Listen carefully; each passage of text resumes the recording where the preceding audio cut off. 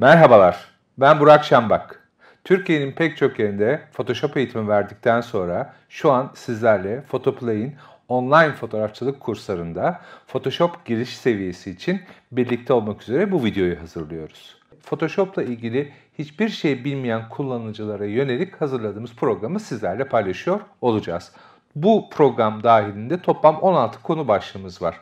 Bu 16 konu başlığı nedir diye soracak olursanız ilk başta elbette neden Photoshop'a ihtiyaç duyduğumuz, Photoshop çalışma alanı, Photoshop menüleri, e, crop, e, perspektif crop, eğik ufuk çizgisi düzeltme, seçme araçları kullanımı, siyah beyaz çevrim, hue saturation, keskinleştirme, levels, curves ve en son derste de Photoshop iş akışı yani A'dan Z'ye hangi araçla başlayıp hangi araçla bitireceğimize ait iş akışını toplamda size vermeyi planlıyoruz.